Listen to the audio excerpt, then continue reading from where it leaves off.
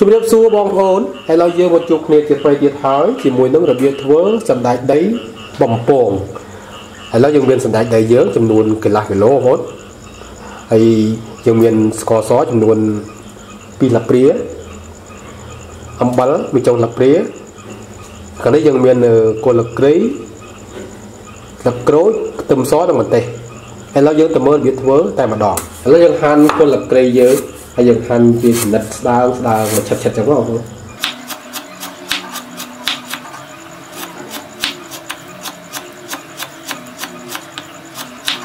ហើយបន្ទាប់មកយើង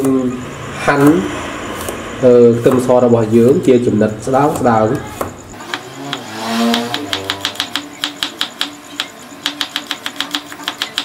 ហើយបន្ទាប់មកយើងក៏ហាន់ម្ទេសយើងជាចំណិតស្ដើងស្ដើងដែរ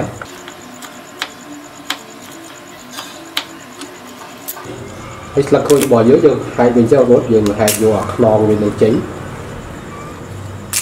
យកតែស្លឹកទៅទេឥ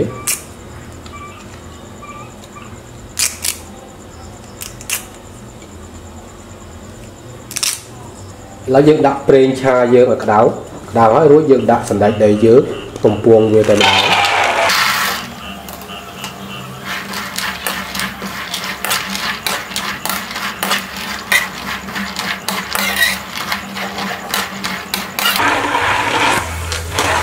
ឥឡូវសម្ដេចដីរបស់យើងយើងបានបំពងរហូតដល់ឆិនបងប្អូនគឺបំពងអញ្ចឹងហើយឡើងក្រហមពីឡើងបំពងឲ្យឆិនអញ្ចឹងហើយបន្ទាប់មកយើងដាក់គ្រឿងរបស់យើងមានគល់លត្រីលឹកក្រូចខ្ទឹមសជាមួយនឹងម្ទេសបងប្អូនហើយយើងបំពងបន្តទៀត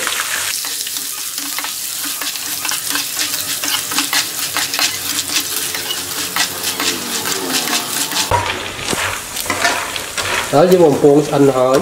ហើយបន្តមកយើងបិទភ្លើងហើយយើងស្រង់វាទី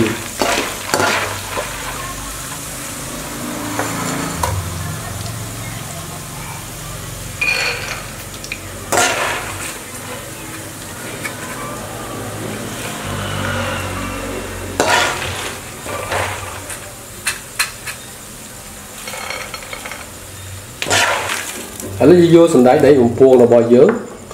ចាក់ចូលក្នុងចានរបស់យើងមកហើយយើងដាក់អំបិលហើយនឹងស្ករសបន្ទាប់មកយើងច្របល់បញ្ចូលគ្នាឲ្យសព្វមក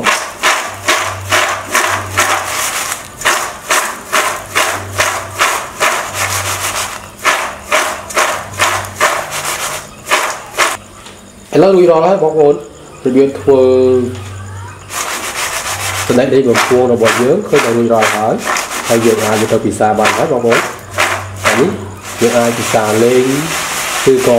ធ្វើជាគ្រឿងខ្លែបានណាបងប្អូនឡើងដល់ហើយចុងក្រោយសូមអរគុណបងប្អូនដែលបានទស្សនាវីដេអូខ្ញុំបាទហើយបើពេញចិត្តវីដេអូនេះកុំភ្លេចចុចជាវនិង Subscribe ដើម្បីទទួលបានវីដេអូថ្មីៗជាបន្តទៀត